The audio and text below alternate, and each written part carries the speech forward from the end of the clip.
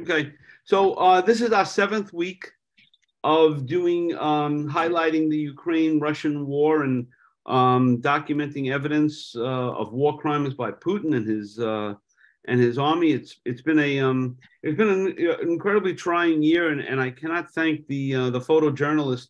There's, it'll now be over 30 who presented over the course of the year uh, for coming in and and uh, and presenting with us. So I'm really um, very thankful to them. And um, this week we have uh, for three nights, it'll be Ira Lupa, uh, Laurel Core, and tonight we have Maxim Donek.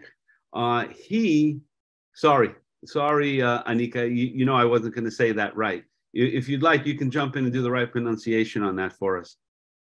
Yes, his last name is Dondyuk, and oh, his name is Maxim. Yes, but yes. you almost correct. Yeah, it's it's uh, hard. It's Ukrainian language. Yes. And, and, for this audience, they're, they're okay. They, they, won't give me too much of a hard time. Um, so he's actually in Ukraine, and we could not do it live with him. So I recorded it with him last week. So we're going to play that right now, and we'll be here, you know, to uh, to chat afterwards. So Jay, hit the button and let's. I want to thank Maxim very much for for coming in and doing this with us. Um, I, I'd like to thank our sponsors who help us throughout the year. It's Photo Shelter, it's Epson, American Photography and Profoto Daily and Archive Magazine as well. Um, tonight we have Maxim Donyak. I hope I don't do. Yeah, it's hard to spell. I know. I apologize for that, but I, I, and I have to say I've been apologizing for seven weeks with all the names that I'm uh, crucifying, but I try. So yeah. um, he is a uh, Ukrainian born and raised uh, photographer, and we are thrilled to have him uh, tonight to uh, present with us. So I give you I give you the presentation, Maxim. It's all yours. So you share your screen and off we go. Okay. Yeah, thank you for inviting me. Just uh, really uh, I'm appreciate for it, and it's just important to show work for people, for you, and talk a little bit. I think it's important. So thank you. Uh, all right. Now I just share yeah. Uh, Perfect. Yeah. Can you see? Yeah. Yes.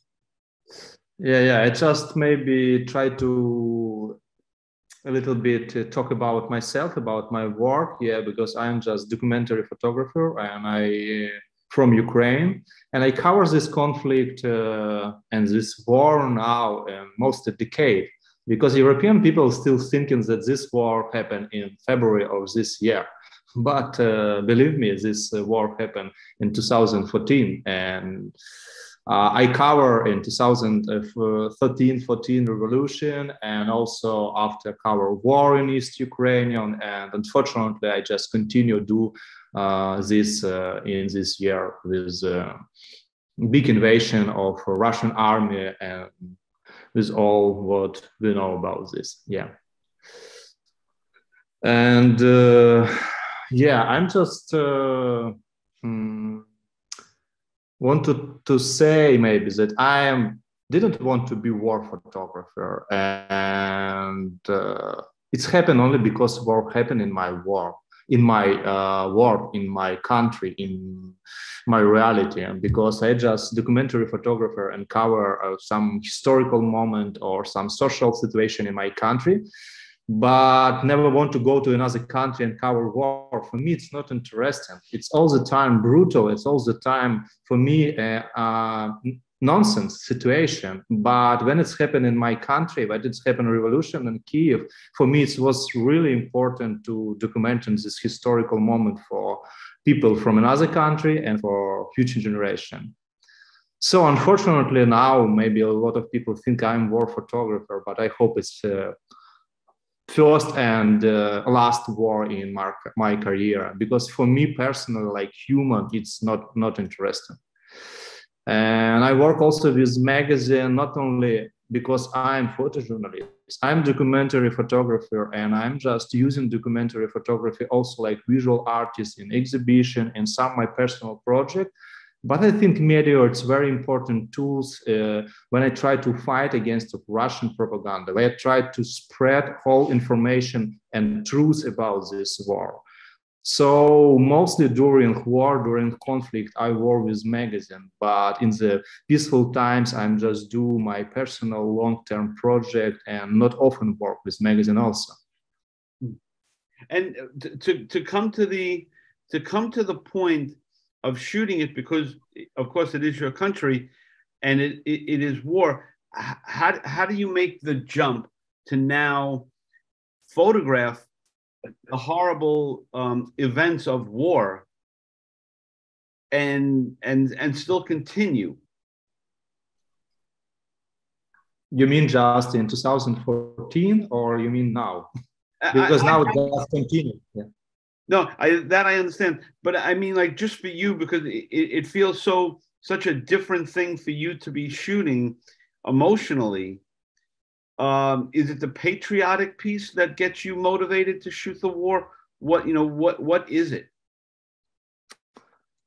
Uh, unfortunately, maybe some part of patriotic, but I'm really just um, not like big fan of patriotic uh, uh, feeling. I just think it's uh, maybe I try to I'm from Ukraine. I'm just born here, but I, a lot of years I live not only in Ukraine, but for me it's my motherland, and my parents live here, and it's important for me use my tools, use my weapons like camera, my eyes to capture this moment. To I'm it's it, when war happened in your country even if you're artist even if you're musician or painter or contemporary photographer you understand it's more important to try to resist this war. Anyway so i'm decided to cover this war like documentary photographer because i can publish this picture i can help my country to fight uh, like uh, in uh, media, I can capture uh, this historical moment for people, for future generation.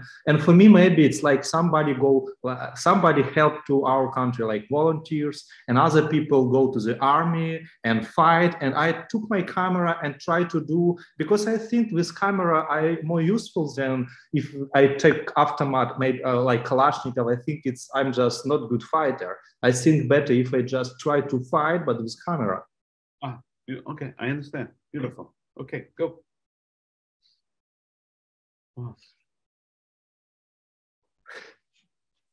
Yeah, so just uh, now it's better just show few picture yeah, and just explain what happened in the picture. Yeah, yep. I agree. Mm -hmm. Okay, yeah.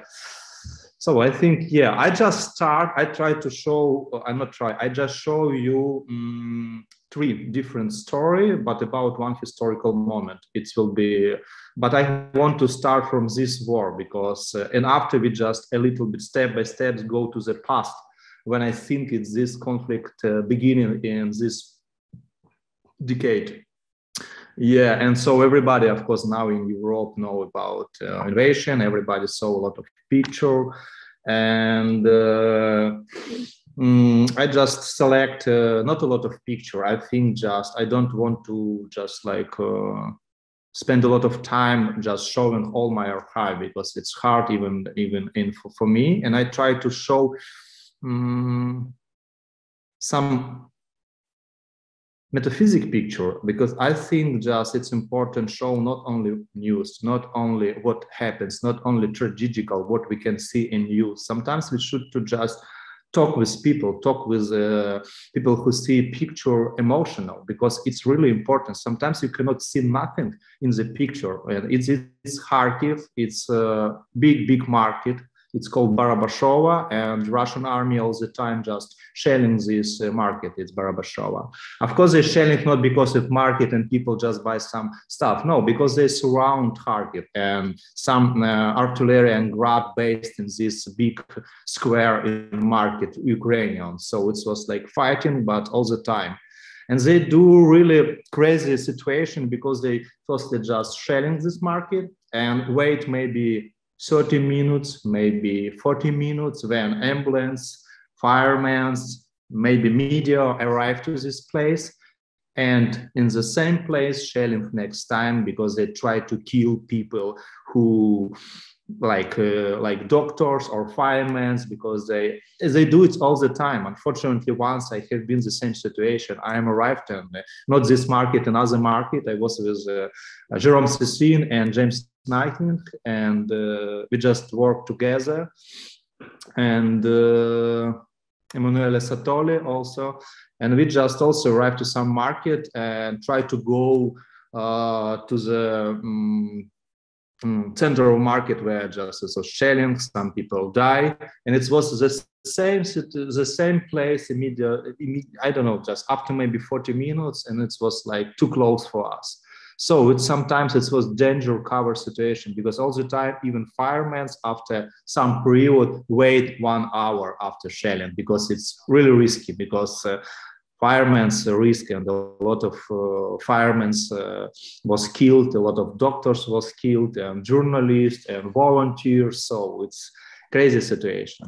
And so in this picture about how looks when we just arrived to the uh, market yeah some market. I think it was like beginning of this war, maybe for everybody. It was a breach, huge breach, across uh, Irpin River, and it's near uh, Bucha, near, near Irpin city. It's small city near Kiev and huge, huge bridge. And we know why people just uh, now try to evacuate from this city, even even when Russia shelling all the time this bridge. People try to go from Irpin and from Bucha because we saw what happened in Bucha, unfortunately. And for me, it was really unique situation because before I saw only a huge breach destroyed only just from picture from another country or from second war. But when we arrived and see this huge breach destroying and a lot of people, thousands of people try to try to go across this bridge. They stay under this bridge because Russia used drone and Russia saw that it's only civilian people and some soldier also, but most of the soldiers not fighting. Soldiers just, just try to help people, uh, women and child care their luggage and try to help them. And uh, Russia used drone and all the time shelling from mortar or from artillery area and killed uh, some civilian people and a lot of wounded. Unfortunately, in this left picture, I was wounded, also injured in the in the same day. And it was not like hard, but it's it was crazy situation. It was crazy situation because it was square and people go across of this bridge. They go across of this bridge and drive to some square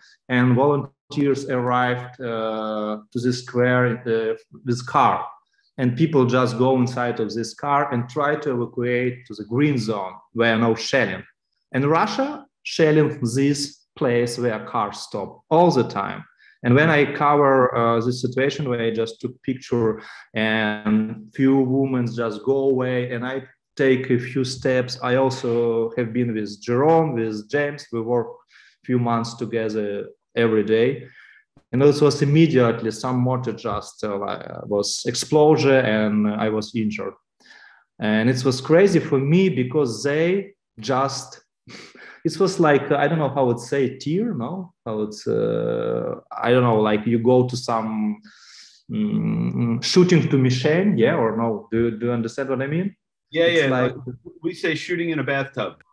Yeah, yeah. It was the same because they use drone. It's square, and you can see it's just volunteers car and everywhere just they uh, they write volunteers volunteers and the roof and you see only civilian people few photographer maybe few soldier who carry luggage and you just do like this it was even not uh, in this moment i understand it's like genocide it's even not war just try to make panic try to make house and yeah and it's this breach it was of course it was like in first month it was crazy because thousands of people tried to escape of this situation they destroyed train stations they destroyed all bridge So it was uh, one of way where they just arrived by car, left car, and tried to go only with one small bag, try to escape from this situation. Oh. It's a highway. It's uh, even not highway. It's avenue in Kiev. It's it's mostly. Uh, and it's mostly not in the center, but it's close to the center. And it's three cars, Russian car with ammunition. And it's happened, I don't remember, it's happened after a few days of invasion. And I uh, stay near nearby in some hotel, and it was explosion so loud in the, in the, at night. And I don't know what happened because it was three or four cars only with ammunition, with few soldier drivers, Russian soldier, who just drive to the center in Kiev like in parade, without any, I don't know, looks like they think that a city open and wait for them. And of course, Ukrainian army completely destroys this few car. I, I even don't know what this was, but it was like suicide missions. They go and all cars was with grenades, with ammunition, with some bulls, with uh, no even no soldier, only driver and another guy. And uh, this soldier was inside like barbecue. It's like nothing. And even they they just go through the huge avenue in the center, in the main square in Kiev. And I all the time ask myself what they think why they go? Who say who told them that you can go inside of city? And after this situation uh, Irpin bridge was destroyed by ukrainian army because they just uh, arrived to the kiev uh, through this bridge. Right. Hmm. I, that's the craziness of war right? A soldier is told to ride over that bridge and they ride over the bridge and even that they don't think that uh, somebody can just resist or something else because yeah. looks like in first months russia saw that they can easily occupy ukrainian like crimea they thought we just uh, wouldn't resist we just yeah. like say okay okay because it was like crazy because they even they use not enough of army. It's like uh, Germany army used during Second War few million soldiers for surround Kiev, and now they use maybe fifty thousand people in Kiev. So it's nothing. It's even not possible. Just not possible. Even if civilian people try to resist without army.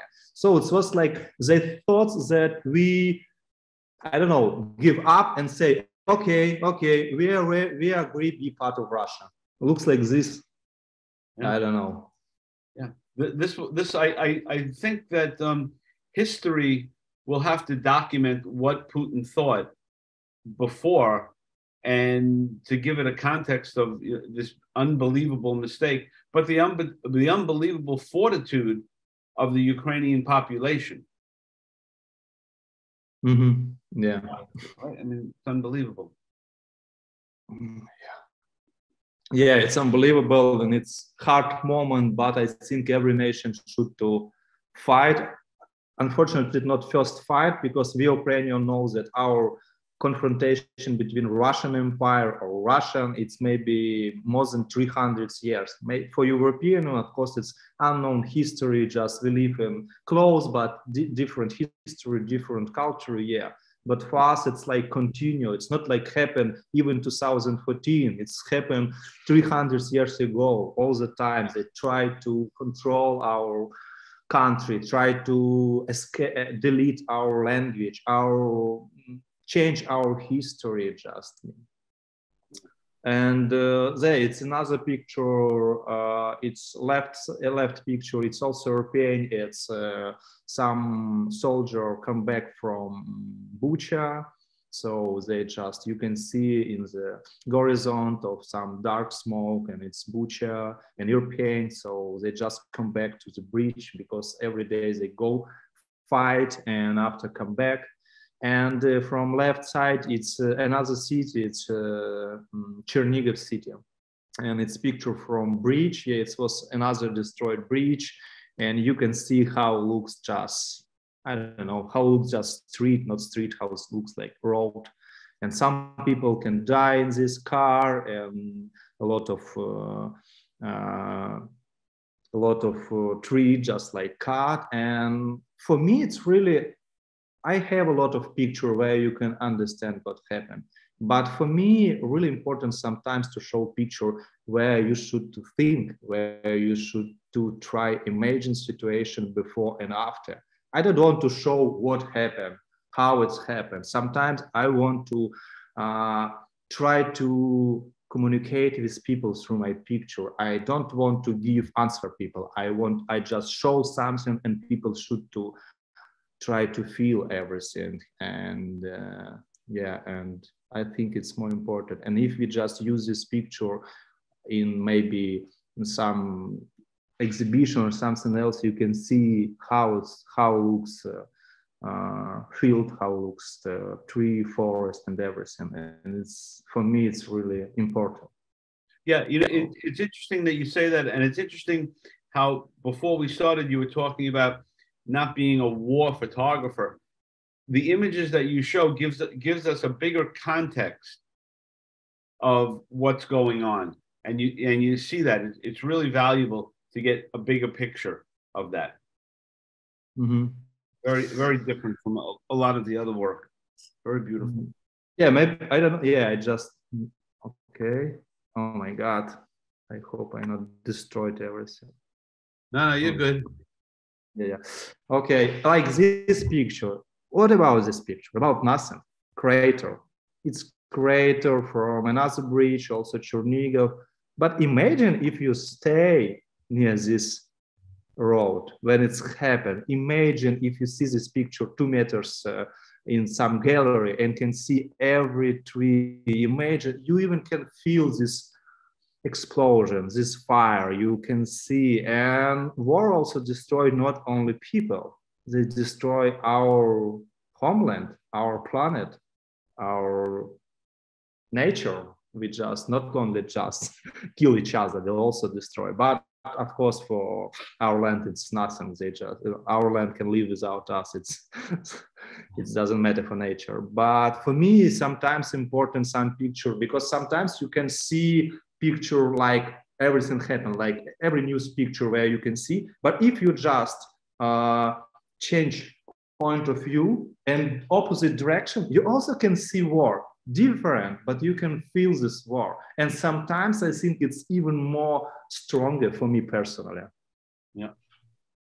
Uh, and I think just, of course, people, a lot of just, uh, people just saw through the social media, Instagram or news, a lot of war picture. And sometimes maybe people even tired of this picture. And I think it's important to try looking for some uh, strong visual language. Like I really love painters. I really love battle scene. I spend a lot of time in museum in Europe, look how it looks. And I think if you go to museum, you don't think about good side or bad side or who right, who not right. You see the unbelievable, beautiful scene. Yeah, you see how people die, how maybe something happened in revolution on war, but you just feel that it's art you want to see it so i try to um, keep focus and try to um, do some pictures that people won't see firstly like visual sometimes maybe for journalists maybe even it's bad if you use aesthetic because journalists try to spread true but i don't believe in true because everybody change. If i just cut half meter left on right it's everything can change. Everything can change. Because for me it's my my personal point of view and i try to contain all my emotion in my frame in my picture because i felt it and i try to contain it and believe that people who can stay in gallery and or museum or magazine and see my picture maybe i don't know maybe 5% maybe 10 maybe more also can feel this emotion mm like this, you can just see um, track of dead body, right, and dead technique left. And it's like from left side, it's Kharkiv area, it's a Russian helicopter, and right side it's also Kharkiv area and it's Russian dead body who just uh, I don't know maybe lying few months uh, on the ground. Yeah. And uh, so it's also just not about how looks war or about how looks uh, action situation. It's not about fighting. It's not about dead people. It's not about uh, but how I'd say, I have a lot of picture with wounded people, with soldier, but in my personal uh, exhibition or presentation, I try not using it. I use this picture mostly for magazine, maybe for because I need to shock people sometimes. But uh, here I want to talk with people. I want to people try to feel something, try to understand something. How how have you changed you personally, how have you changed from covering from your, your photography of covering this, you know, covering war? How does that change you personally? I think these questions need to ask not me, it's need to ask my uh, family or my wife. Of course, of course, I change. I remember how I changed in 2014. I spent one year uh, in the war, and when I just come back, uh, it's normal life. It was like with every soldier. It was like some some mental uh, uh, problem, I think, because it's too hard to come back to normal life. Because in the front line, it's so easy.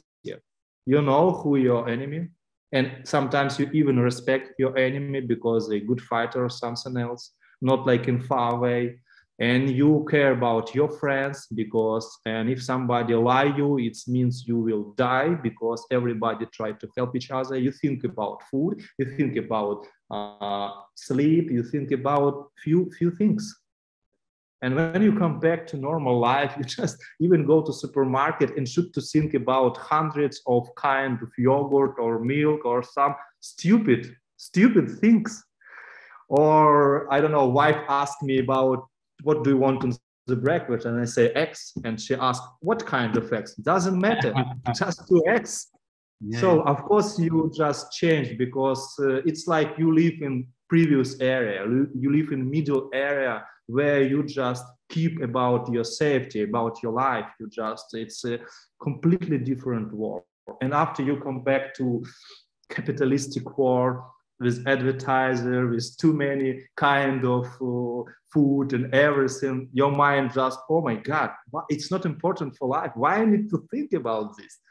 So yeah, but I think for me it's much more easy because I can make an interview, exhibition, book. Uh, I can talk with people, and it just uh, helped me a lot. But soldier, sometimes uh, I know a lot of uh, my friends who come back to the war because they cannot find their way in the normal life.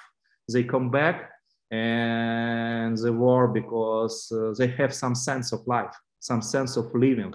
Mm. And when they come back, family, wife, or and other people, friends cannot understand them because they live in parallel reality in different world. So uh, I think it's to it's the most important thing when you come back to find any sense of in your life except of war because even for photography if sense of war you will be war photographer all your career and it's i think it's also i don't know yeah, you can say it's important, blah, blah, blah, but it's ruin your life, it's ruin your family, it's ruin everything. Because even for me, I cover this uh, war uh, more than nine years and I dream about stop it. I dream live without cover war 10 years more. Maybe after I just want to come back, I don't know, but, but it's hard. It's mentally hard, yeah, because some people love war some people like soldier or even photographer love war but i'm against of any sense of war. I'm just hate war and think it's a it's nonsense situation. Nobody win in this war. Not in this war every war it's nobody win. We only lose. Very true. Continue yeah. Yeah so it's uh, also try to explain something about picture. Yeah, it's. Uh, I don't know if you see the whole picture or you see also me. I don't know. No, we, we see the whole thing. You're just a little square up on top. Okay, super. Yeah. Uh, so it's uh, I try to show how people live because if you just uh, try to um, not mention the dead body, dead old woman on the floor. You see normal room in the Bucha, normal house, old woman living. You see house she living. You see chairs, green uh, walls, everything. And it's unusual situation. Some dead body living here. I even don't know how she died because it's like some black. Uh, I don't know. Uh, blood in the uh, arms. Looks like maybe she was uh, wounded or injured uh, outside, uh, outside. Maybe she tried to go inside. I don't know. Maybe it was just shrapnel and she immediately dies but it's unusual situation in the Bucha. You can walk in this city and everywhere you can you can find dead body. Everywhere. In park go to in house in the street and it's i don't know it's like barbarians go inside of city like a few hundred uh, years ago and killed everybody. It's unbelievable because i spent maybe four or five days in the Bucha and lost my mind because it was like I, i'm like criminal photographer. Every day i took a lot of picture with dead body, only dead body in normal situation. And it was crazy because it's even not war. Because for us, war is when two country or two cultures have problem and soldier fight in battlefield. But it's soldier go inside of city and kill women, young men, child, old woman, everyone. It's yeah for me it's like unbelievable and i just i think it's crazy crazy situation yeah it's uh, two different hospital it's uh, from left side it's a hospital in the um, Boyarka, it's small city near Kiev, and it's two soldier. It was uh, airstrike of their position, and they was wounded and sitting in the, some hospital. And from left side, it's a woman, normal woman. She living in Kharkiv and she slept in your apartment and wake up in the hospital because Russia destroyed her house. Doctor amputate, amputated her legs and she lost everything. And too many people, too many people I met some guy without uh, two legs who just was amputation two legs. It's 27 years and he just go, he just slept in the house. And because one big country tried to, I don't know, destroy another culture and another country, it's just like they lost everything.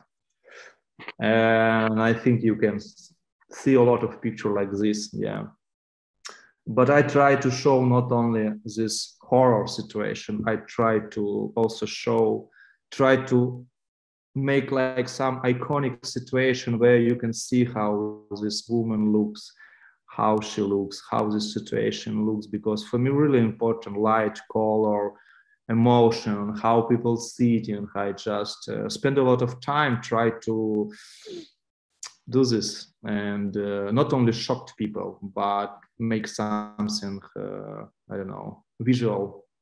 Because i think it's important because if you do just only horror people just after some period stop looking at it yeah. But if it's like uh, like i saw like in museum like painting people want to see because people attracted it. It's it's horrible because people sometimes love some art with horrible situation. Love war yeah love uh, some torture or something else. It's problem inside of us. It's problem inside of us. We continue war because we're people we're human. It's even not problem of some country sometimes. Yeah. maxim I, I must ask you you know how do you balance this? Because obviously you go into this so emotionally like the the piece of reporting versus the emotional cost that it cause that you pay you as a sensitive human being a, a father a husband all of that there's this this fight I would imagine in your mind of I need to report this, but to witness this, there's also a cost. Do you mean what my cost about witnessing? Yes, like your cost to your heart, to your head, to your spirit.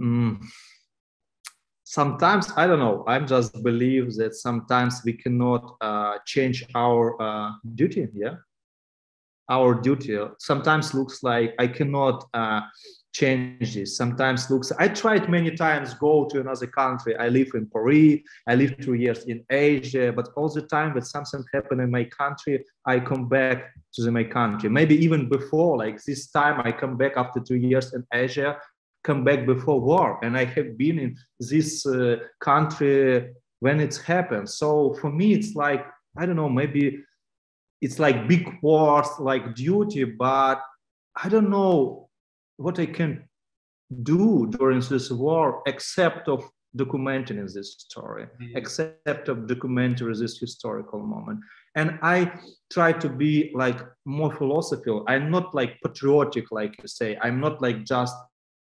everything. I try to um, understand these uh, uh, lessons, try to understand, try to change also my mind. So I think it's even helped me. But and you, if you check my website, I all the time cover some crazy situation. I live two years in tuberculosis hospital and cover situation about tuberculosis and live with people who was sick in tuberculosis. And for me, it's changed my mind a lot.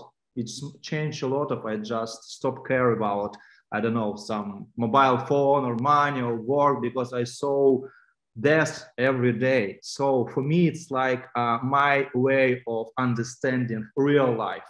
And also it's my motherland. Also it's uh, my country. And i try to be useful uh, and i try to use how i can be useful for my country because i think it's uh, more important how i say and of yeah. course i pay some cost. Of course i pay some cost. Sometimes i can control my emotions. Sometimes i aggressive. Sometimes uh, i'm sure it's hard to my family. Talk with me like my father mother and my wife unfortunately. And i even try to control it sometimes but sometimes it's not possible. Sometimes i'm fucking crazy fucking crazy man. And of course i need time after war. Just calm down go to the some monastery for months meditation. I understand it yeah. but i also cannot stop now. Yeah i understand. Yeah. No that that was yeah i understand. Yeah. Yeah, it's uh, in the left is the same situation, but in other market also, like in Kharkiv, and you can see how firemen, uh, mm, yeah, working, and all the time it's something happen again with firemen. So it's not only soldier resist; it's a lot of doctors and firemen was killed, and mostly they was killed like Russia like it like second shelling in the same position all the time all the time they do. In in kharkiv it was 99% second shelling like i say after 30 or 40 minutes.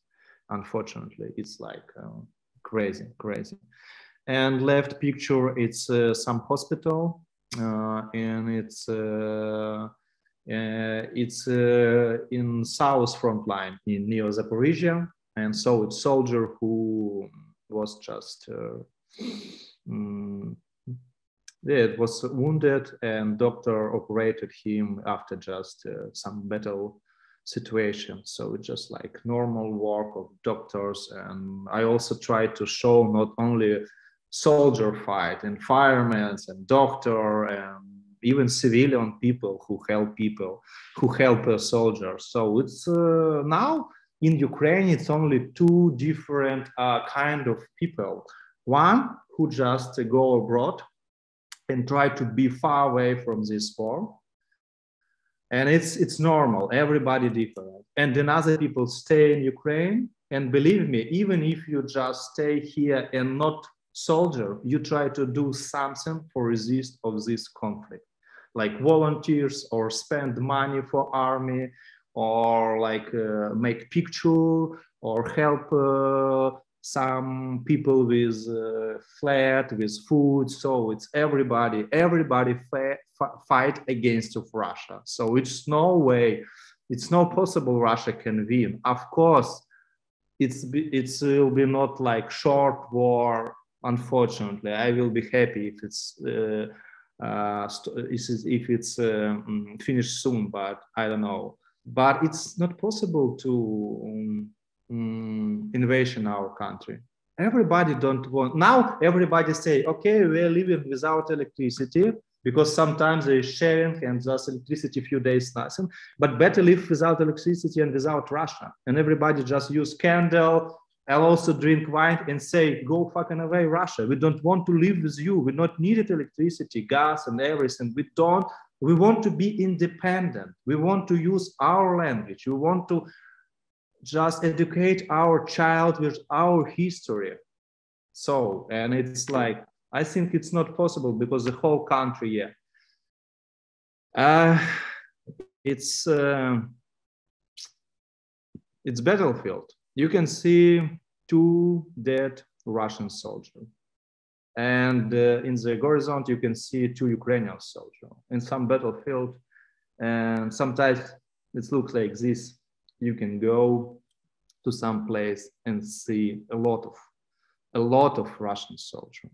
In this day, I took a lot of picture and every picture with dead Russian soldier. And you see some soldier care about care some wounded soldier and something happened, maybe artillery or shelling, I don't know, maybe some special forces arrive, I don't know. But it's crazy because uh, sometimes I saw a lot of Russian soldier, and I and I think also Ukrainian soldier from another side, who forgotten few months, and mother don't know or wife don't know where his child or husband, yeah. and for what, for what reason? Why I, I saw before, it's no reason any any war. It's the best decision stop war it's just like not fighting against each other and i don't know and it's so it's ground and it was like and you cannot see here in the horizon but it's uh good side, ground garden. Yeah it's apple garden. So now it's like uh, some small tree because it was uh, winter and so it's just small small tree. But now it's like uh, apple garden and these people just die in this place. And believe me in this place it was i don't know 100 russian soldiers and every square was was a dead russian soldier uh, and they lost a lot of people i just lost a lot of people and i don't know for what reason really you can see this is the same situation. Another Russian soldier uh, in the position and uh, from left side and uh, it's some artillery system uh, with uh, melt metal. And for me, it looks like blood. Human has blood and techniques, military techniques has this like metal. And for me it's like uh, like dead body with blood it's a similar situation. Mm-hmm. and from left side here you can see how it's poetic looks like some russian dead soldier die but it's how it say it's some son some husband. For what? I don't know. I don't know for what we fight. We fight for resisting our country. We don't we don't have any any chance to escape what we can do 40 million people go to the Europe, it's just not possible. We should to protect our country. We should to resist. We don't have any way. But for what reason Russian soldiers go to the only because of propaganda? I don't know. That, that's that's that's what we're finding out now, right? I mean, th- those Russian soldiers don't want to be there. They just don't. I mean, y- your point is exactly right. Exactly. But and yeah. prop- propaganda is a very strong tool. Oh yeah, especially Russia, they really can use it. I think propaganda is much more better than their weapons. Yes. Yeah. Yeah. Uh, it's this more uh, in some field hospital um, in some village near Popasna. And uh, for me personally, this uh, this I don't know how it's called. Sorry, English. This uh, uh, stretcher. Uh, stretcher, yeah. With blood for me personally, it's more emotion than if you can see dead body. Because if somebody from Ukraine can see the dead body, you can recognize, oh, it's not my friends, it's not my family. But here you can see it could be maybe some of my friends or my family here. You just start thinking about you understand that it was some wounded or dead body, but because I take picture without dead body, you start thinking about more. Maybe somebody explain you that it was in the same room or something else. So I'm really love just talk with people like this, not put like object. And sometimes I take a lot of picture about war without people. Mm. Because people can put inside of this picture uh, their emotions, their friends, their, I don't know, situation, maybe even imagine that you can be here yeah. And so it looks like this. And it's uh, how Ukrainian government tried to protect our monuments. In Kharkiv, it's uh, our painter Taras Grigorievich Shevchenko. It's like symbol, like Lenin in Moscow and Shevchenko, it's like Ukrainian culture monuments. And uh, it's like uh, back with uh, hmm? sand, yeah, it was sand yeah and uh, they try to make like pyramid and protect every monument in kharkiv because all the time shelling and also russian army destroy and ruin a lot of monuments a lot of cultural monuments and it's important and the whole country try to uh, protect our uh, historical monuments or some museum some building uh, opera or something else everywhere. A lot of uh, construction like this. And it's that's, for that's, me looks like yeah. No I, I i apologize for interrupting but that is such an intense photograph. That's such an intense thing to do. I mean that that takes a lot of time a lot of effort but the importance of that statue is priceless. Yeah yeah. Yeah a lot of people so how i say you every people try to do something for resist yeah. our culture. And not only like soldiers some like people who just clean street do this and spend not like one day. It's like i don't know maybe one week it's a, few, it's like 10 people do it's maybe one week with some machine.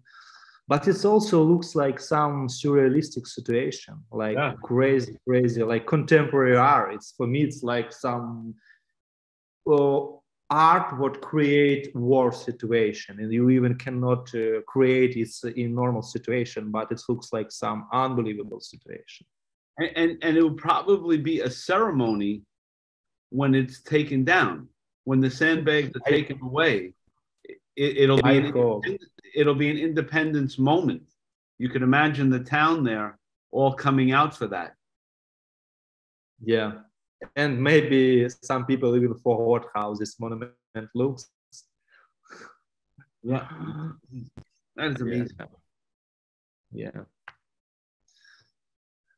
Yeah, it's Kharkiv. It's Kharkiv. It's uh, like uh, uh, region uh, government government building. Yeah, it's like in the main square government building, and it was uh, maybe you know, maybe show some pictures. So it was like some rocket uh, and it was killed a lot of people and completely destroyed.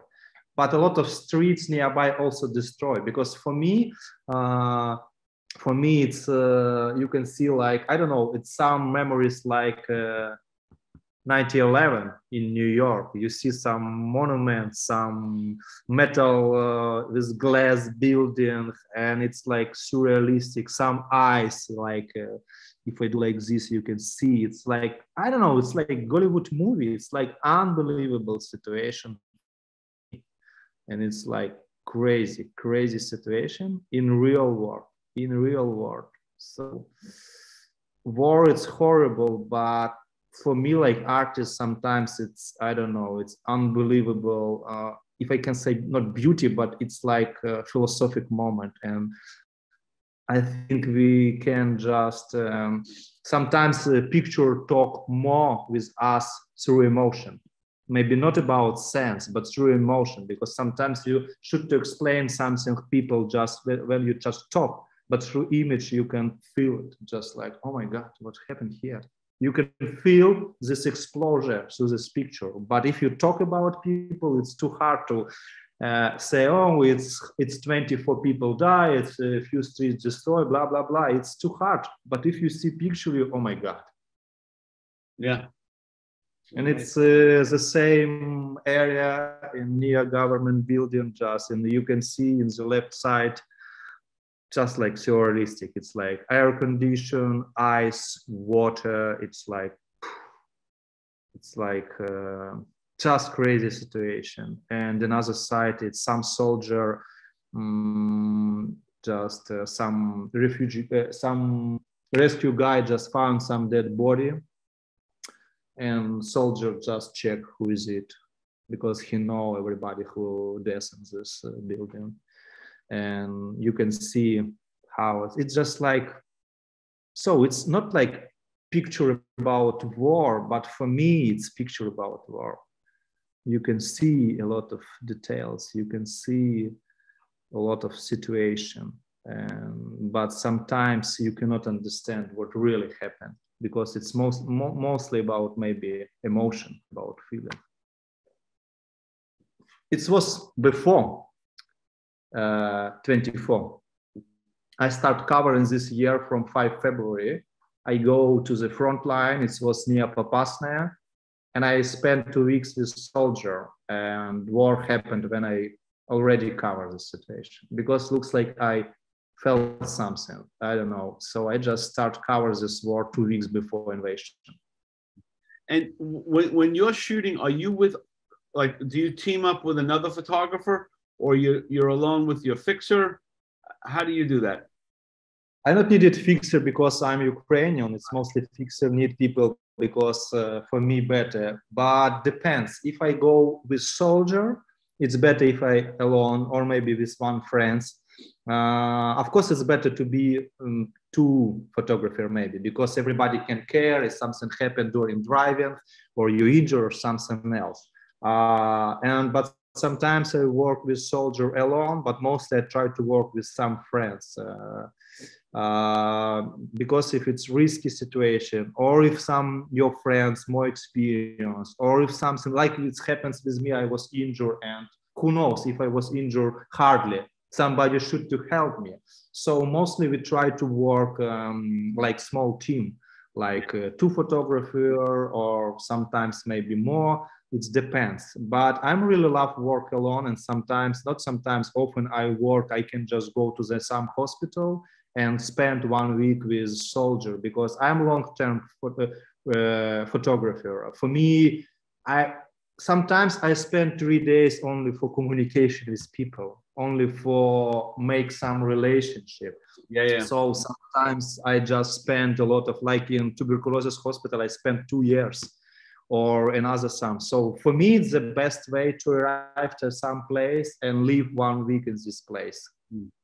But sometimes it's hard. Of course, uh, during uh, first few months, this war it was too dangerous. Stay in any place, so all the time frontline shifting, and sometimes you can arrive to some village, and in the mornings it can be Russian position. So it was like you should to change your position all the time yeah so it was before before it's this year but it was before invasion. Mm. and it's like uh, yeah it's uh, my uh, story. Like you can write uh, uh, read about it. And i just uh, after my war experience in 2014 i come back to the same place uh, bloody place, very important place yeah. during war. And after war, after one year in the war, I felt emptiness in, inside of me. and a lot of my friends soldier also have emptiness and they come back to the normal life and the, during war you're important like some building you saw in this story some building which, which was really important during war but now it's abandoned and nobody care and nobody care and i try to show through some landscape through some uh, situation, this emptiness, what I felt and what felt a lot of people with war experience. Because you can see track or scarf uh, from war and nobody now care about the situation. But during 2014, this uh, place was really strategically important. A lot of people die in this place. But now it's nobody needed it. Nobody even want to reconstruction it. And so i i just travel uh, in um, in this place uh, during winter for me it was really important to show emptiness and i try to sometimes i found some place and even uh, wait few days for snow for white and it's you can see it's more conceptual story it's about war but it's not about what happened. It's about maybe my reflection on this war And for me, it was also just come back to the front line, and it was not like close to the front line, but you can still can hear some, some shelling, some uh, some noises from front line, and it's like uh, somebody go to uh, psychologist and talking about war, and I'm just come back to this uh, place and try to find against of some feeling inside of me. Be yeah. closer to front line yeah. Yeah you know i was just going to say for you is it therapeutic to come back and see it all white and clean in in some way for, for your own mental uh, your mental well-being to see it this way. Yeah yeah. It's yeah it's like uh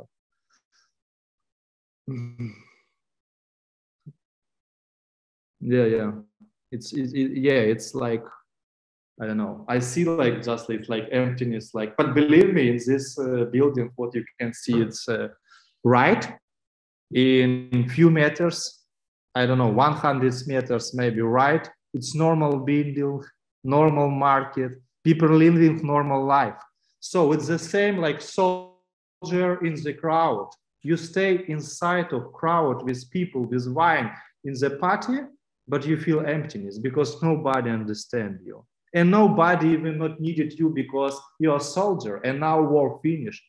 You're not needed. You're just stupid soldier you can only fight and kill and another people you can do nothing. So it's it's like about transformation about and for me it was like i tried to show my introvert my what inside of me through picture what i what i see yeah. And uh, it was like my therapy maybe after 2014 and i really thought that i never come back to the war after this but unfortunately it's happened yeah like this you can see. But believe me it's not like uh, mm, it's not like desert. It's not like i take this picture and everywhere no people.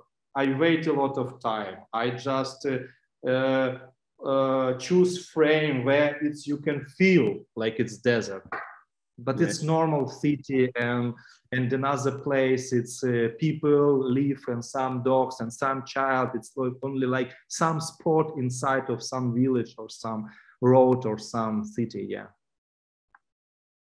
so it's like visual manipulation it's not even about true or news it's about like yeah, it's like Ukrainian tanks, yeah, in Ukrainian, like some checkpoint, and now it's emptiness, and nobody care about these checkpoints, yeah, and like tranchee. Somebody die here, somebody just fight here. Now it's like, like nothing, yeah. or like this. How many people die here? Who knows? It now really like just. It really illustrates the stupidity of war yeah. Right. Like you say, how many people died here, and now we walk past it as we walk our dogs, right? Yeah, yeah. Now it's like, yeah. Yeah.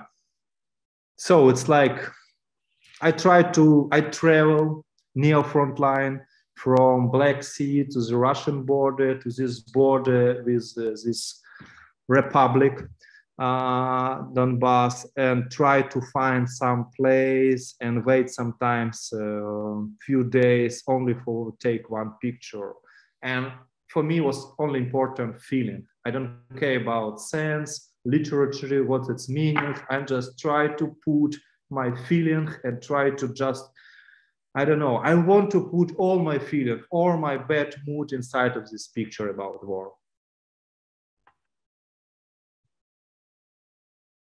So it's like some garbage, something else with some black bird, what might be meaning in some storytelling all the time, death or something else. So I try to find some, yeah, some yeah in my website you can see more picture from this project. I just try to show in presentation like so, like yeah. Yeah maxim do you find when when you're having you know you're home now and you know you're getting a little bit nervous or uh, thinking about the war do you go back to these images to find peace for yourself you mean just when i take this picture no, no, like now, you know, it, it, it's a Tuesday, a Tuesday evening, and you're just relaxing, and you want to find peace. You're just a little calm. I think, I, I think now I felt uh, more stressed when I just see this picture. Oh, because looks like I just uh, looks like I um a little bit felt the same what I felt when I take this picture because all the time it's like connection with me. It's like my child, and when you saw your child, you just felt some emotion. If it doesn't happen with your child, you just felt this. So when I saw this picture, some picture I don't like, some picture, but all the time I have connection, some feeling, and one hundred percent not peaceful. Okay. Nice. Yeah. So and it was uh, from what this conflict, this war beginning. Yep. And I mean, in this uh, century, not even this century, but in this uh, uh, in this situation. And it was it was a revolution, and it was like my first experience, um, like war photographer or conflict photographer. I live in Kiev, and it's happened in my city. And I cover this situation, and I was 100% this protester in my mind but like documentary photographer and like man who really love philosophy i thought it was really bad idea if i cover revolution only from side of uh, protesters so even this uh, uh, during the documentary in this revolution i spent uh, not one days with policemen because i try to felt i try to uh, see how looks situation from policeman side. Uh, and for me, it was important show this situation because for me, it's culture of confrontation. I just uh, did the book about this, and it was a confrontation between two culture in Ukraine. It was uh, one culture which want to come back to Soviet Union, which want to come back and be to Russian part, and another culture want to be independent, want to be with European Union or with European culture. So it was conflict between, not between different uh, age, it was conflict between different culture, different mentality. And I try to show this and try to uh, show in my picture both sides. And people just should decide how it looks. And for me it was like unbelievable battle scene. It was like uh, i didn't try to show ukrainian revolution because every revolution is the same it's conflict between two different mentality and i think if i cover this revolution with uh, and try to cut some Ukrainian flags or some situation about some subject, people can feel this revolution because some people can say me, oh, it looks like French Revolution, or it looks like from previous era, or something else. And I think it's more important. And if I try to connect some battle stand from historical moment with present and keep focused people of uh, this situation. And you can see how a lot of policemen go against of protester. How many? It looks like it's even not like protesting. I don't know, like in Europe, but you see it's only a small part. But believe me, it's more, more, more soldier, more policemen, and another side protester. It's like war. It's like small war inside of city. Like here, it's like crazy situation, and it's like I don't know, like paradise, like movie, like. Uh, unbelievable situation for me. And I try to show what I felt because I didn't see just revolution, just Ukrainian people. I saw this paradise situation. And I want to show hundreds people in my picture. I try to do huge landscape where you can see the whole battlefield scene, like here. and you can see every stone it just was i don't know from police side or from protest side and it's like middle area it's like crazy crazy situation it mm. was really sad revolution but visually it was unbelievable unbelievable situation i think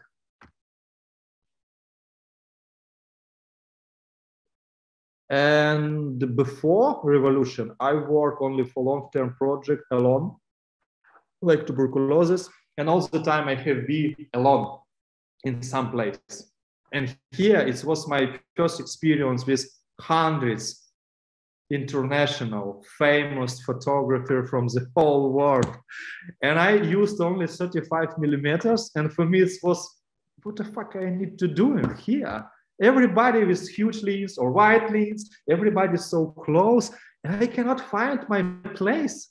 So maybe it's even helped me because I just go far away from this crowd and take like picture like this with small people and you cannot see even photographer and just for me it was like i try to find my way of uh, how i can just uh, take a picture from this moment. But it was unbelievable crazy because it was like competition between 200 photographer and really high level. And for me it was first experience working in the crowd of video it was like oh my god with fixed 35 millimeters lens it's like suicide missions so Max, how, how, do you really like? So you go home after after you you do a shoot like that, and you go home.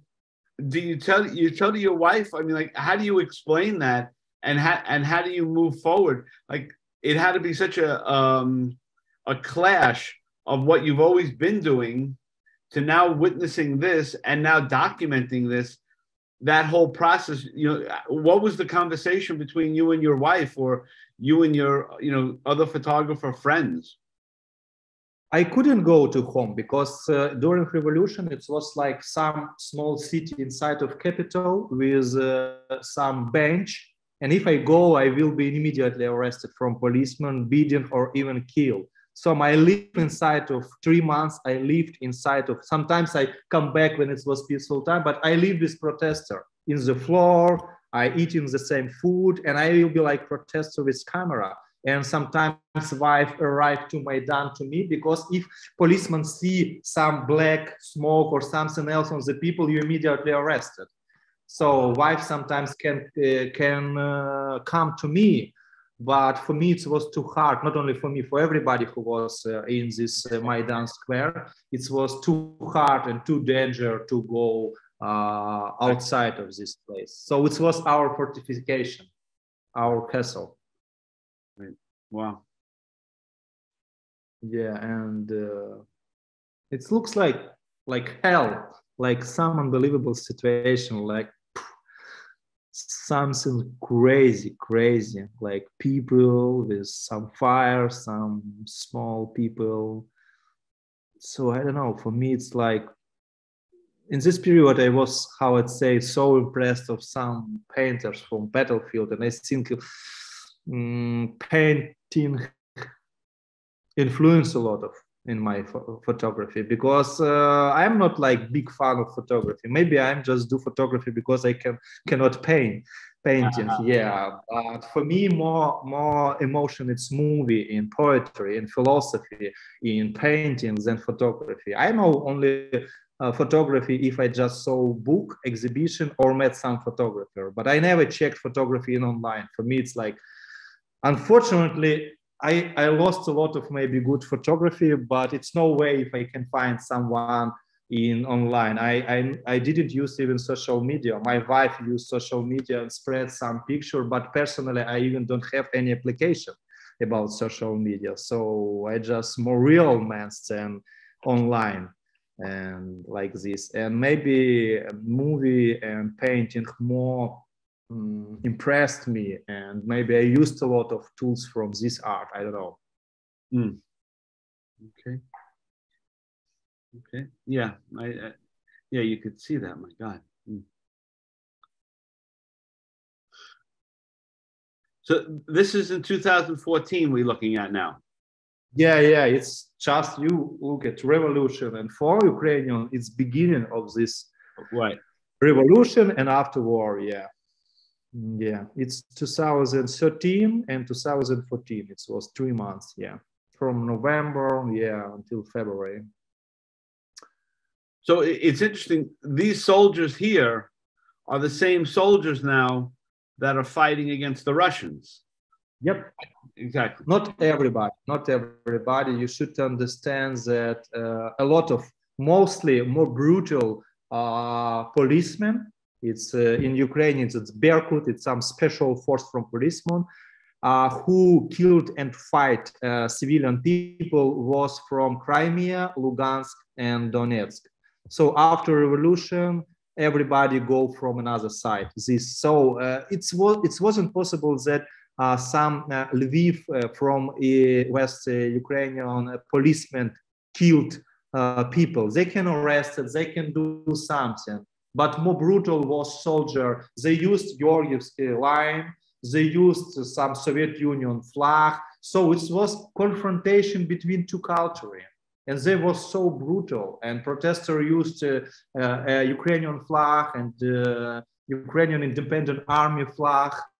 So it was like confrontation between independent Ukrainian with European mentality and Soviet Union Ukrainian who want to combat and mostly soldier uh, they was just not soldiers they policemen they now fight or even die after eight years from uh, LNR, from Lugansk, Donetsk, and Crimea side.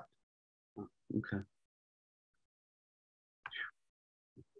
Yeah, you can see main square how it looks, but it looks like I don't know some square in Rome, some middle area, or something else. Uh, for me personally, it looks like like you can see a lot of people. I, I just wanted to show this huge landscape. I just didn't interest in show one heroic face or one fight. fighting. I want to people see how it looks like some Pepsi table, people sitting, eating something, soldier, how they looks, how looks this main square.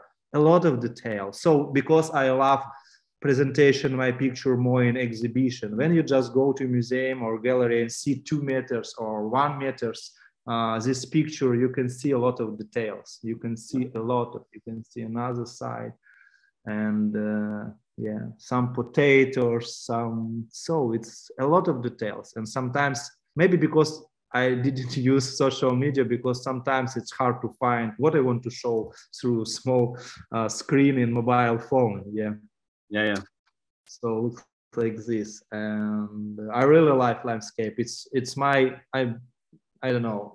I just called it, but it's not I called it. It's somebody called it. It's Düsseldorf school use it. It's God eyes. You can see for this situation like God see, not like decide who bad, who good. You just see like uh, in the. Um, you call that God eyes? Huh? You said it's called Got Eyes? Like got eyes, yeah, like yeah, got eyes, because you can see for this situation not like decide who bet or you like from heaven or from I don't know like something, and you just not like decide decide better good. You just see the whole picture. Yeah, yeah, and I just really loved this yeah way. But sometimes, of course, I just close and use. Mm.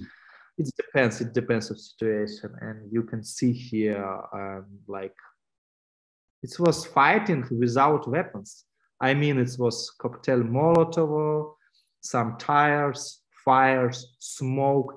And I don't know what happened, but uh, I am not like religion guy. But during three months, wind all the time was from protester side. So protester can use tires and fire, and it's all the time was problem for policemen. all the time, even if change uh, front line, will change to the side of policemen. It was like crazy.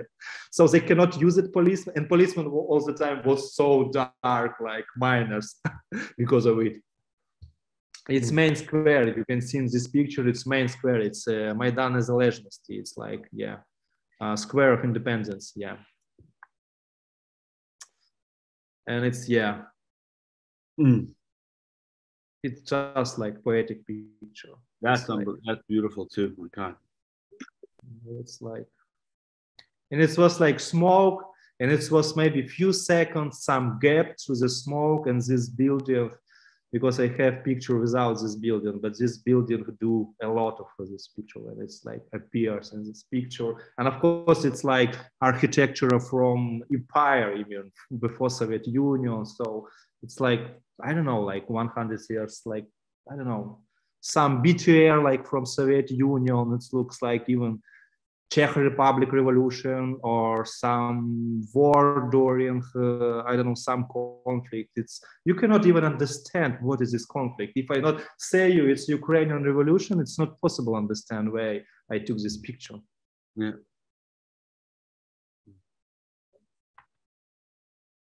but you can see how people fight. It was like it so, was fucking cold winter. It was minus 30. so everybody tried to make a lot of fire. Mm. so let, let me ask you this, Maxim. I, you know, where does this country go next? This war is over, hopefully as soon as possible and you know with the government you know and its problems with corruption you know wh- what what do the young people want can they go back to just the way it was do, you, do you have a was? what do you mean was uh, was in how it was before war or how it was during soviet union or what before, do you mean was? What, what caused the, the 2014 protests right? Okay. Right. I yeah. mean, can we can we get can we get to a place where the young people feel represented, that want to be part of the government? There isn't so much corruption. You know that. Like, is there conversations around that? I think it's not possible to come back to the past because uh, believe me, it's everything changed. And now, yeah, it's corruption. Unfortunately, it's like our history from Soviet Union, a lot of corruption but mentality change even government with corruption cannot do what corruption government do before because now they uh, think about independence. They think about ukrainian culture. They used a, a lot of ukrainian um, cultural events. They just uh, before half country used russian language. Now you cannot learn russian language in the school. You cannot see Russian monument in the uh, mm, in the square on city. You cannot watch Russian TV or radio. So Russia do a big mistake. They ruin all pro-Russian. Even I talk with people who was pro-Russian before war, who say me before 24 February, I was, I love Putin. I dream about Russia come to Kharkiv. And now they killed my wife. They ruined my house.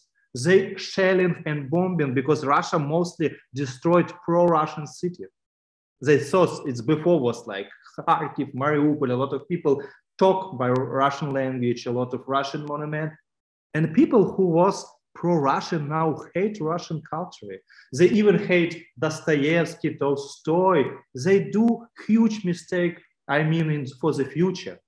Yeah, yeah. This war. It's uh, because now it's no way. It's like big wall. I, think for few generation between Russia and Ukraine. I think it's no way to even communicate. And I think, uh, yeah, corruption, it's problem. It's problem with every country, with our country, it's bigger, with another country, smaller, but, but our way, our perspective, because you should understand why revolution happened in Ukraine. Do you know? No, I'm going to let you tell me so I don't sound foolish.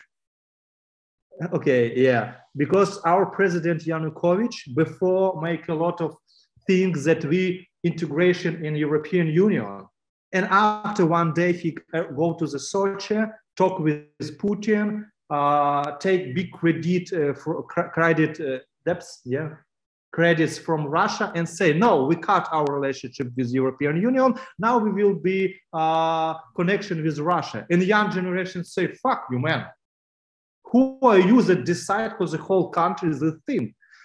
So now it's not possible because we completely change. We try to be european not like we try to be european union and blah blah blah. We try to be like democracy country we try to uh, use uh, not like uh, russian mentality not try to be like Soviet Union mentality. We try to be independent country. We try to be normal. We try to uh, use democracy. We try to destroy corruption step by steps. We try to do it. And believe me, after war, if government be corruption, it's million people with war experience change the situation immediately and they understand it. It's no way to play for this, no way. So it has changed. Beautiful. Yeah i i think yes so of course it's hard. It's like not like easy way that after war everything changed of course. But step by steps and russia and putin did huge mistake i mean because if he tried to do some propaganda or something else he had more chance to change mind in some people in some area in ukrainian but now he ruined their city kharkiv was before maybe 40% uh, pro-Russian. Now it's heroic city. Now it was mostly surround and just fight. And now it's like more pro-Ukrainian cities than before, only because he tried to destroy the city. Mm. Yeah. Okay. okay. Yeah. Try to maybe finish this. Yeah, just a little bit. Yeah, you just can see how looks. Uh, revolution, how looks square, how it was, maybe. Yeah, it was nine years ago. I think even people just don't remember how it looks. Yeah. And see, it's like two different side connection. Look at this picture. Wow. It's like a different color. I don't know who who create orange uh, helms. Orange. Uh, it's somebody just yeah, but it looks like some red, but you can see dark orange. But it's connect. It's connect. It's fighting. It's like huge fighting. Or like this. I don't know. I just uh, incredible fire in main square and some some guy just walking. So it's also sometimes I, I, how I would say it's hard to understand where I just took this picture, which city during what period, because for me it doesn't matter. I try to play with people about memories, about yeah, yeah. about like this also. It can be I don't know anywhere.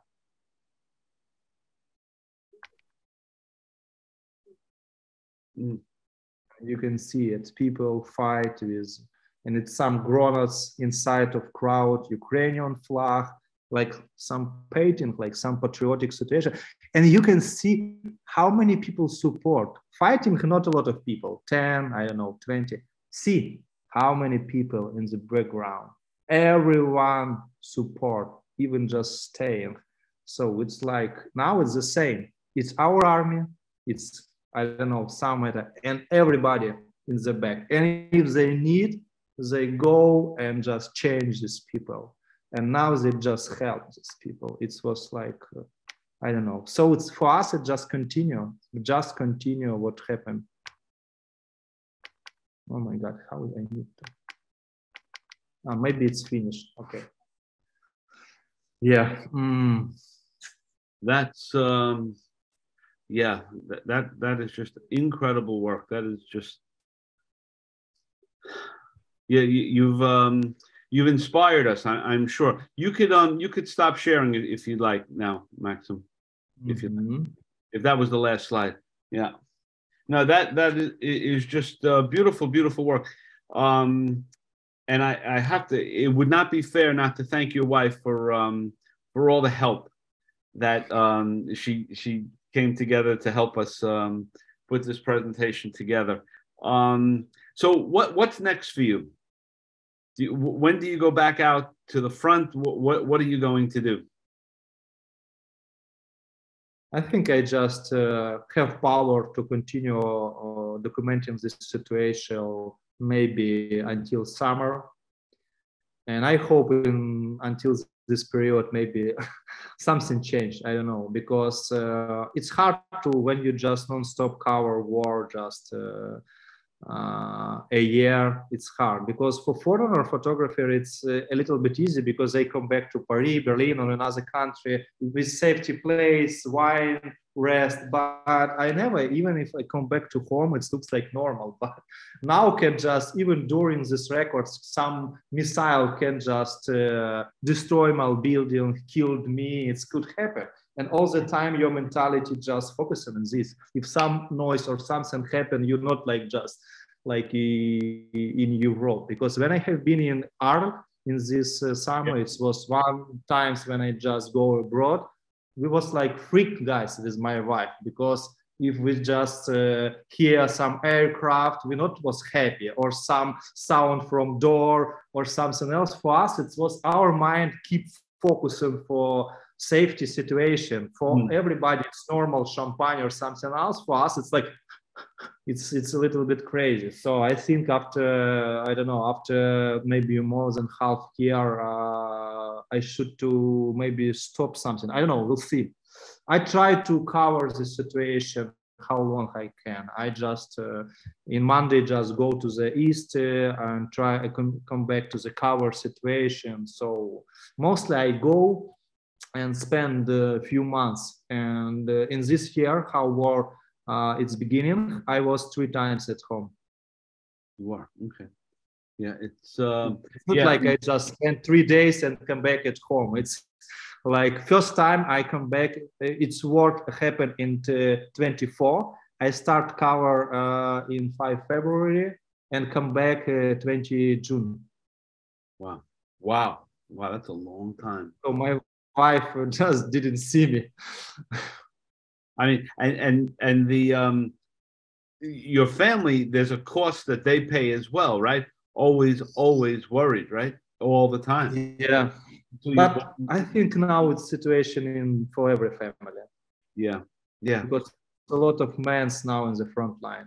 If we talk about women now, every woman, yeah. Um, I even for me, I'm just even not brave guy because I cannot imagine our soldier who stay nine months in the tranche because I can come back, I can change play and they stay in this situation, fighting, fighting. It's like like crazy situation and didn't see their child, their wife, and how many our good men we lost because of this war. So yeah. it's our army, it's like unbelievable brave. And we just like civilian who not fight try to be a little bit like our army. try to help them. Right. Yeah. Well, I I I, I, I cannot thank you enough for uh, for doing this. And like I say, I, I I do very much appreciate everything your wife did to pull this together and and make it happen for us. And know that um, anytime you want to come back and show new work, this topic or another topic, we would love to have you absolutely love to have you. Um, and we we only wish that you know you're safe and you try to have um, a little bit of peace during the holidays. And what I'd like to do is, if you could have the last moment to send us away for the evening, I give it to you. Any final thank thoughts? You. Thank you. It was pleasure to talk with you, and thank you. It's all the time. It's uh, it's good for talk for people who have war experience because we share this emotion and it's help us also. Okay, good. Um, well, thank you very much, and we will. Um, we will. We will. I'm sure. We we hope very much that you remain safe, and we see you again. So, thank you. All right. Thank you. So that um, we just put his link into the chat room if you'd like to see uh, Maxim's uh, website and his work. But I have to say, now listening to that again was um, just as riveting. That was really um, so humbling. I mean, th- th- that guy is just you know so at ease and um, so revealing in in what he does and how he does it. Um, that that was that was just wonderful. So we can up everyone if anyone has any comments. Um, like I said, you know, we're up for tomorrow and Friday with uh, two other great uh, photojournalists as we um, as we continue on this um, on this journey of having so many um, insightful photographers uh, coming in and showing us work. So I thank you all for um, for uh, for coming in. So very very much. If anyone else has any comments, you know, it's. Uh, I know that that work leaves you a little bit speechless. I have to say. Yeah, I just wanted to say thank you for sharing this with us, with all his uh, conversation, with all his thoughts, not interrupting him, not to rush him. yeah, so it's uh, quite a pleasure. No, that, that's very. I'm glad that you say that because while you're doing it, you're wondering, is he going too long? But then there's always another beautiful nugget that comes from him that's so just wow, I'm glad I let him talk. You know, that, that's that's a great observation. So thank you for saying that. Um, but yeah, no, he, he's just wonderful. And and you know, there was more pieces of, of his wife actually coming in, you know, at the end, and you know, she did a little cameo because she, uh, I guess Scott, you know who she is. Um, and she, she was just wonderful because I, I know during the weeks of prep prepping for this, she was the one that really pull, pulled it together for him. So that that was um and and she was great about it and very comforting And, you know a lot of emails back and forth so it was nice. And so you know she was she was on camera there for a while so she was great. Yeah. So yeah i'm glad you said that. Thank you. Yeah. So scott how do you how do you know her? Uh through the uh smith fund okay. Going back and forth making sure that he got his money. There you go. Yeah she's good that way i could tell. I oh yeah, I mean she's she's definitely like the power behind, but just like every every every like you know every back and forth was just I felt like you know you're, you're dealing with something very special, and then and then you know you see him now. I mean this uh, uh, you know I I knew the work, but I've never heard him you know speak, and I think it's also so speaks to in a lot of ways to uh, the power of somebody who lives there and somebody who's living through it um, you know, not to take away from you know all the you know the photographers who've gone in and so on and so forth. You know, they they also bring something special, and but there is a a deeper understanding and a deeper. Um, I think you know when when it when it it all comes from someplace inside you that you know that you know the idea that you're living there, and you know I think that the whole when he's talking about you know being in the building you hear a door close you hear something like you know anything mm-hmm. you know that is that is that you know that that that takes it to a whole other level both emotionally spiritually and visually. Yeah. that i think what and what's amazing to me is how he taps into that mm-hmm. and how he lives that you know every day. It's just incredible yeah and, it's it, to your point it's that subtle understanding of where he's coming from that brings it to another level. Yeah. That's, that's really dead on right. He, he, yeah, there's something that, like the dirt is under his nails, as we would say, right? I mean, it's, uh, it's yeah, yeah. um, I, I was I was thrilled that that that he that he would do it. Um, yeah. If anyone else has any other comments, um, uh, like I said, you know, tomorrow we have uh, Laurel Troy and Ira Looper on Friday. So, um, you know, if if you're available, and uh, I know it's, it's it's a little heavy thing during the holiday season, but life is life, and you know, this this is what's going on in the other in the other parts of the world. So, um, I thank all of you for uh, for coming in, and um, you know, we look forward to seeing everyone tomorrow who can make it, and tell a friend, and on and on and on. So uh, again, thanks and thanks for thanks for uh, reaching out there, Scott, and, and giving us a little bit more ins- insights. That's terrific. So I thank you. I'm so glad to be here. Thank you. Thanks for doing this. It's incredible. Yeah, yeah. This this will get us by the end of the week. This will get us to thirty presentations. Wow. Amazing. Yeah, on our on our YouTube. I mean, and, and I have to tell you, there's a number of people like Jay, like Scott, like um, like Sandy, um, and a number of other people who've really been here for almost all of them. And Robert and Stefan. I mean, it is this these presentations. Each one is riveting in its own way. So it, it's really been um, an incredible journey, I have to say. Um, so we're um, yeah, we're, we're, thrilled about it, and, and we'll, we'll, continue. Unfortunately, we will continue. And then there's you know there's you know watching this country build itself back up is going to be a miracle. You know, day in and day out because they will, they just will. If we got nothing else from all these presentations about the people, there is no stopping these folks. No, oh, incredible. I mean, just uh, they are they are the heroes of the day for sure. So with that, I tell everyone good night, um, and we will see you tomorrow Tomorrow. next day.